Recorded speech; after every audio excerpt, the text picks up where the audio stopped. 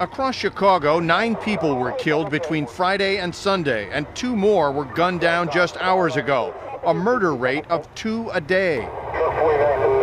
This is like Beirut was in the 70s. Uh, it's war. That's why we got to keep doing it right. Pastor Robin Hood lives in Chicago's North Lawndale neighborhood, where three of the victims were killed. People are scared to come out of doors. They're scared for their kids to sit on the porches and play in the playgrounds. It's total fear. Most of the violent crime in the city gang related? Yes. Chicago Police Superintendent Gary McCarthy says the problem has a lot to do with drugs, guns, and gang wars.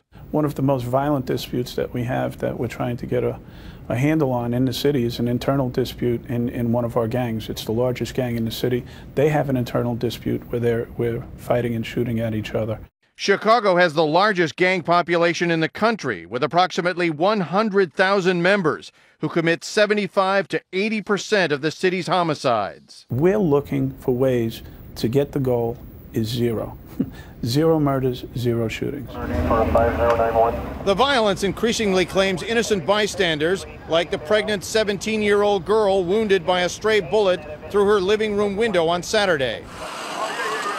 Chicago's police force of 12,000 officers has a lot of ground to cover, something McCarthy hopes the public understands. Do you say that hold on, the cavalry is coming, or is there anything you can tell them? Um, I tell her I'm sorry that that condition exists, and I feel responsible for it. The police here are targeting high crime areas for more frequent patrols, and a new law signed yesterday by Illinois' governor holds gang leaders responsible for the crimes of their organizations. I think that we can change the culture of these gangs. Um, at least that's something that we're trying to do, while at the same time doing the law enforcement. Now, McCarthy says the data don't always show it, but the police are making progress with increasing undercover operations and greater infiltrations of the gangs themselves, Scott, as well as a crackdown on the narcotics traffic, which is the fuel that keeps them going. Dean, thank you.